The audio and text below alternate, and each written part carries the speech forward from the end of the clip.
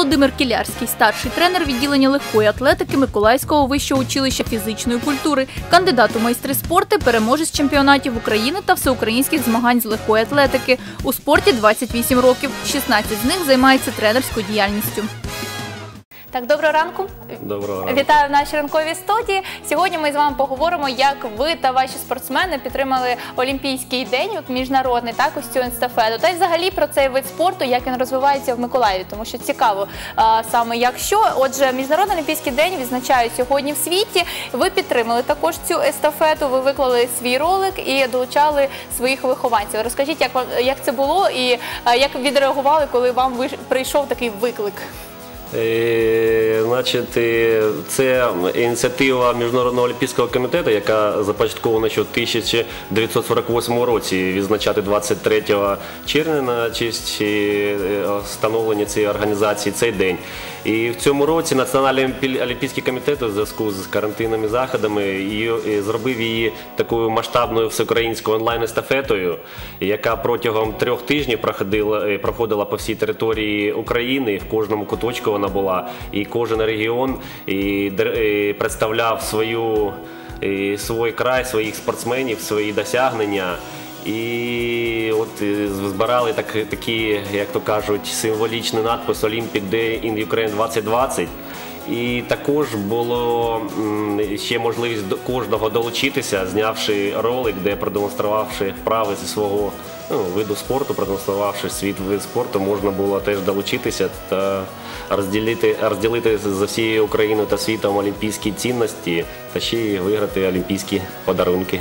Ви теж встигли відзняти ролик. Зараз наші глядачі будуть його також бачити на своєму екрані, і ви долучали своїх вихованців до цього. Так, отже, розкажіть, як е, ваші спортсмени також реагували на це до того, що були карантинні обмеження, чи було зручно це знімати? Ага. Ну, Значить, по-перше, роль, ролик мені передав е, наш президент Федерації легкої атлетики, який дуже у нас така активна людина. І коли я йому е, розповів, доклав цю інформацію, що Олімпійський комітет буде в цьому році цей захід в такому форматі проводити, я вже розумів, що е, мені вже треба збирати речі та знімати ролик, тому що треба долучатися. Е, Це був для мене як такий своєобразний виклик. Ну це було і якось і. Приємно і відповідально.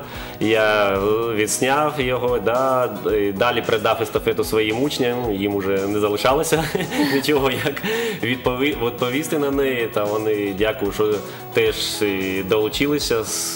Дуже були і креативні ідеї, і с- спортивну форму вони свою продемонстрували.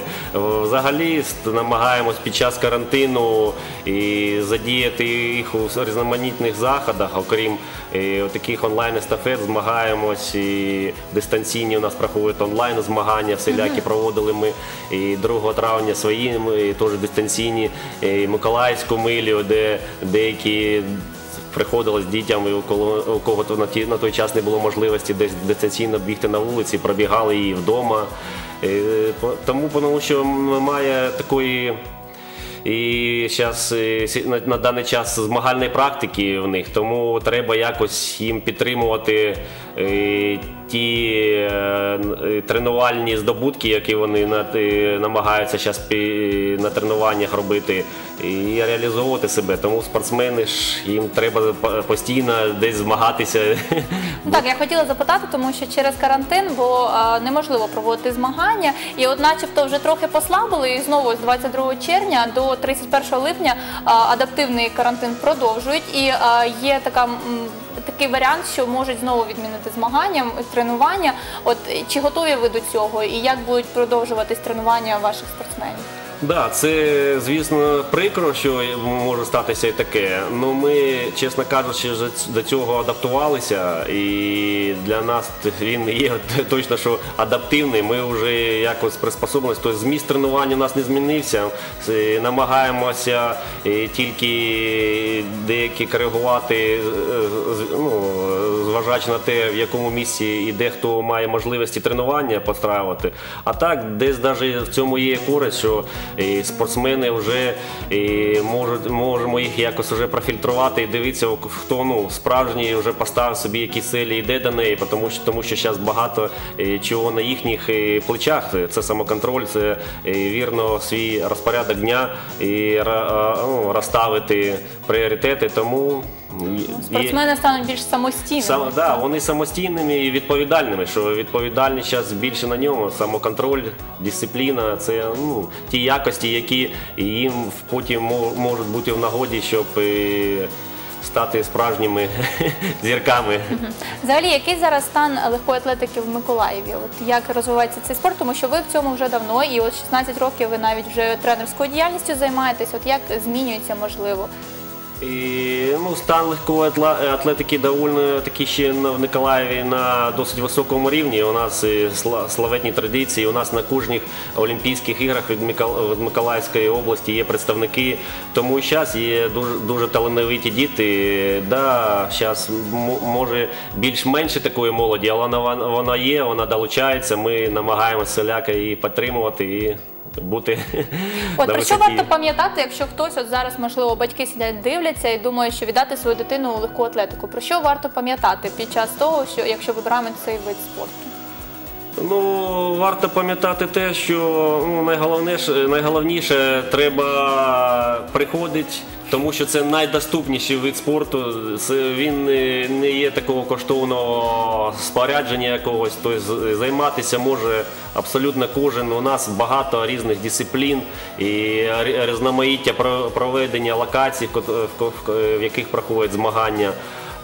Тому варто пам'ятати одне, що треба любити спорт, любити своє діло і, і приходити до нас. Е, Угу. Ну от щодо можливостей, от з якого віку вже можна, наприклад, займатися? Чи є якісь протипоказання навіть до цього спорту? І ну, як правило, в дитячій юнацькій школи набирають е, з 9 років. Є е, деякі випадки, коли батьки вже кажуть, ну він такий, не можемо наздогнати, то можемо і раніше взяти. А кожен може прийти, як і у дитячій юнацькій школи з 9 років, і можна займатися, бігають і літні люди. Це легка атлетика може бути як і, і сприйматися як оздоровлення, як укріплення організму, і сердеч, серцево-судинної системи, як для схуднення, тобто оздоровчий біг, тобто багато різних напрямків і, і легка атлетика популярна в світі. Ну це ж королева спорту. От е, ви 28 років е, у візиці ми чули, що у цьому спорті. От що вас тоді спонукало займатися цим спортом? І, ну, спонукало те, як я вже казав, це е, великий е, вибір е, спеціалізацій, різноманіття видів, які в легкої атлетики. Тобто кожен, кожен може себе знайти в ньому і десь не, получ... не спробував там, можна на іншу дисципліну перейти. І Ну, Це головне в легкоатлетики, тому що вона універсальна, тому вона і потребує як і у спорті, так і в звичайному житті може знадобитися кожна людині, кожен з нас лег- легкоатлет. Все, ось таку думку ви почули. Ну і одну онлайн естафету ви вже пройшли. Чи відомо вже про майбутнє, тому що через карантин важко проводити якісь змагання. Коли і де ми маємо вболівати за наших миколаївських спортсменів?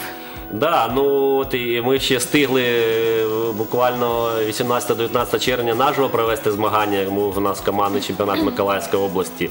І наразі в плануванні в календарі всеукраїнському це на е, серпень та вересень місяць заплановані всеукраїнські чемпіонати. Туди там сподіваємося виступити, туди намагаємося е, готуватися і віримо, що все у нас буде добре. Не, не буде і наживо, будемо онлайн е, проводити самі, долучатися до всіляких заходів, щоб тільки е, Миколаївські спортсмени готові до будь-якої ситуації. Я нагадаю, до нашої студії сьогодні завітав Володимир Кілярський, старший тренер відділення легкої атлетики Миколаївського вищого училища фізичної культури. Я вам дякую.